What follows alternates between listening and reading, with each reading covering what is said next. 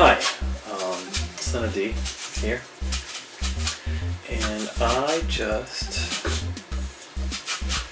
uh, I got home from picking apples yesterday, and went on YouTube and saw your uh, how to make an apple crisp um, video.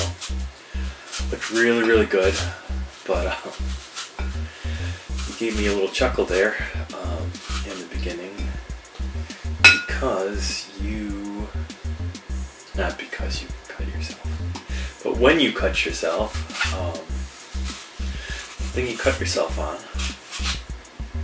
could have been very useful in your um, your video. It was something similar to this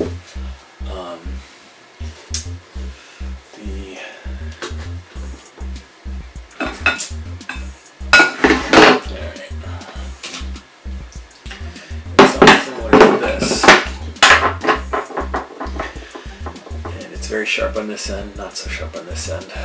But if you put it right on your apple,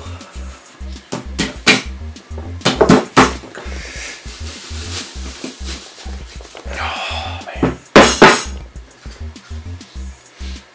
that's a big apple.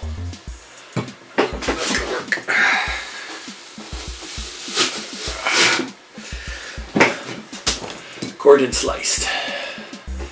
Just like that. Just thought I'd pass on that little tip to you. Um, plus, don't put it in your drawer because it's sharp. Alright, see you later. Bye.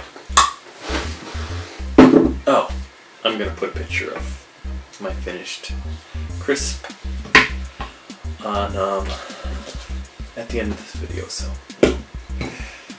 here it is.